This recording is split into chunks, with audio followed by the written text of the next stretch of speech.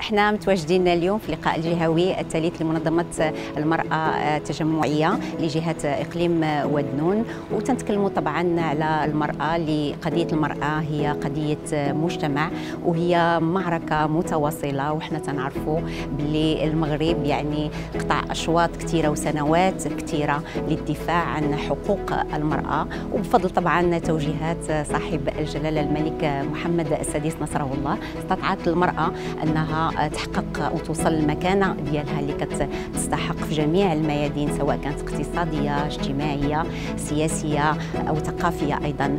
فاليوم تنعزوا هذه المكانة هذه. اليوم كان عندنا لقاء مع النساء ديال إقليم هذا الأقاليم الجنوبية طبعا. وكنعزوا أيضا المكانة اللي وصلت لها المرأة سواء كان في المجال القروي أو كان في المجال الحضاري. ولكن مازال كيخصنا المزيد من العمل ومزيد من المثابرة باش تبقى المرأة في الصورة اللي رسمها لها المجتمع المغربي وأيضا بالتوجيهات اللي جات في الخطابات ديال صاحب الجلالة أننا نعطيوها الحق ديالها.